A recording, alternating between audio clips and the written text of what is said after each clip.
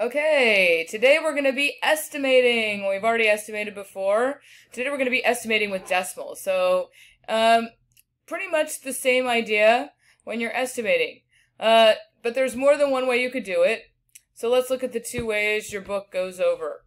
So one way we can do it is just to round to the nearest, well here we have two numbers, we're going to round to the nearest hundred. Okay, in this example we've got 237.5 and 345.1. And what is the nearest hundred? And they've hundred that we have here. So we've got 237.5 and the nearest hundred is 200. Okay? That's pretty right. If you think about it, is 237, if you're thinking of your number line right, is it closer to 200 or 300? And you know right in the middle is 250, right? So 237 is going to come on this side, right? 237 is between these two. Uh, so we know that it's going to be closer to 200.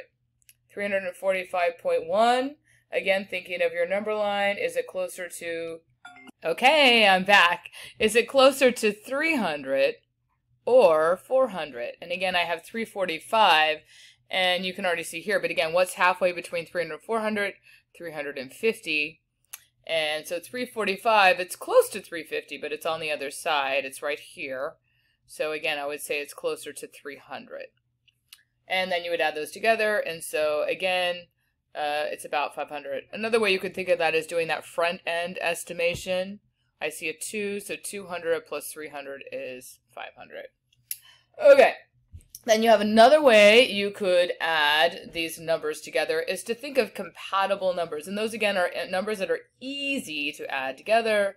And in this case, you know, 237, I know that 23 is pretty close to 25, right? And then so 250. And then 345, again, that 345, we already looked at the number line, it's pretty close to 350.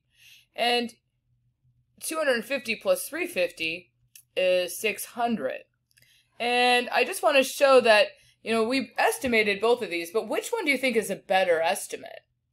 Um, and again, thinking about 237 is pretty close to 250, 345 is close to 350. This 600 is a better estimate than 500, right? They're both estimates, and again, sometimes when we're estimating, it doesn't really matter if we're close or not.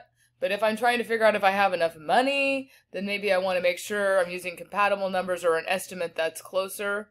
You could also overestimate as well. Okay, so let's just do one more up here together. Let's try adding 172.3 uh, plus, let's add week 5, which is 338. Now again, if I'm just estimating, is this closer to 100 or 200? I know 170 is much closer to 200.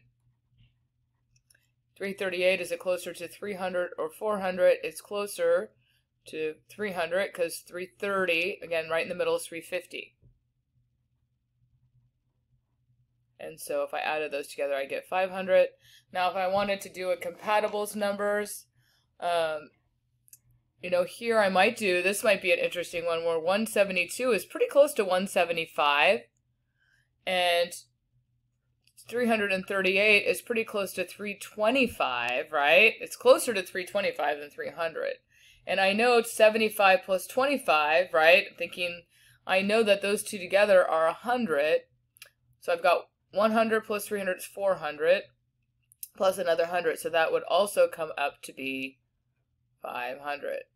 Okay, notice that my estimates there were really close, right? They were pretty much the same estimate. So either way, I got 500. Okay, so again, we're estimating sums. And when you come to the group, we'll do some more. Okay, thanks for watching.